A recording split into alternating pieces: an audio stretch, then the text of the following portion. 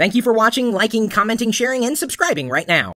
I uh, walk through security systems all the time. In fact, I even went through that one, what do they call it, the, the back scatter thing that scans your body and shows like all your fat wrinkles and your private parts to like the people that are watching the screen. They always ask me to like stay in there. And like they keep running it on me. I don't know why. I don't have anything important on me. Uh, in fact, I, I got busted because I had uh, some uh, lip balm in my pocket, and they thought it was an incendiary device. Yes, I was going to take down a plane with this!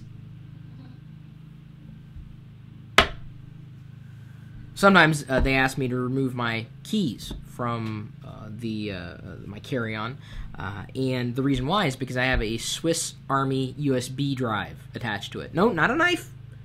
Not a knife. It's just a USB drive. And I have that on me because I never know when I'm going to need something. Copy data back and forth, run an application without putting the application on the hard drive. It is pretty simple.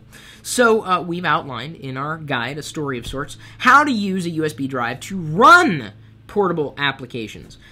Uh, you know, these things, uh, they're a dime a dozen. Uh, in, in, many cases, a dime would be too much for these USB uh, drives. Uh, you could run browsers on USB drives on, uh, and then plug them into, let's say, a, a PC uh, that you you know you might see at some kind of uh, you know cafe.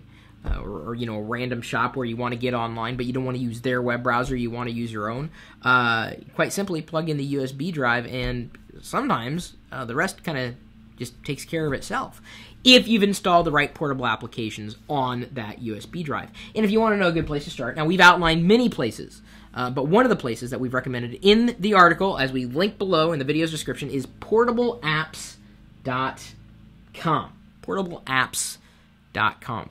Again, the value of doing this is that you can take these apps with you wherever you go.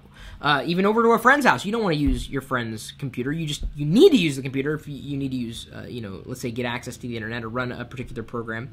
But you don't have to use the applications installed on their computer. They can all run off of not a lip balm. Although that would be an interesting uh, USB device. Uh, lip balm slash USB drive. That'd be neat. Uh, I've got a USB drive there. I've got USB drive there. I've got a drive there. I've got, dude, I collect. How many of these things do I? I even have a USB drive that's still in the package. It's crazy. Why haven't I opened this yet? Because I haven't needed to use it. I get them all the freaking time.